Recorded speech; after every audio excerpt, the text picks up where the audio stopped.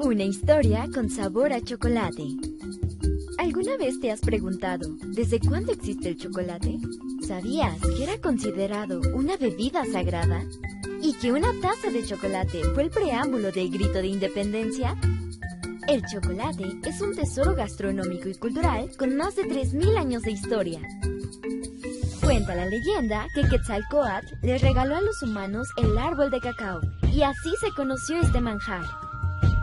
Sin embargo, la historia inicia con los olmecas, quienes cultivaron y prepararon el cacao en una bebida llamada chocolate.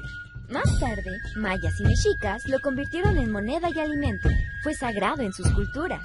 En la conquista, Cristóbal Colón recibió cacao que llevó a Europa. Con el tiempo, se endulzó con azúcar, dando origen al chocolate actual. Pero seguro que no sabías que el chocolate desempeñó un papel central en uno de los momentos históricos más importantes para México. Recreemos este escenario.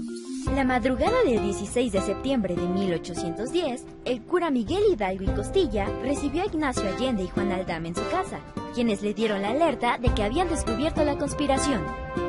Y mientras bebían una taza de chocolate, se tomó la valiente decisión de llamar al pueblo a la acción, iniciando la lucha por la independencia de México.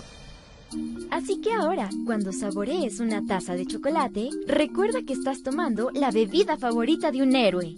¡Clic-clac! ¡Asómate!